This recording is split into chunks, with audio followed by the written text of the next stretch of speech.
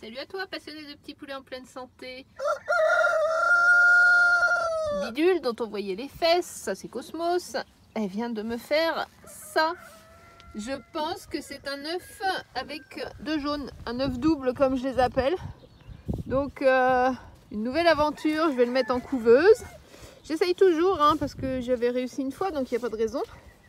Voilà, Miss Bidule, qu'il y a deux jaunes dans ton œuf. Je pense que oui, vu la taille et que t'as pas pondu hier. Yes. Ça va être toi le papa ou ça va être Ngové? Ah, ah, Surprise.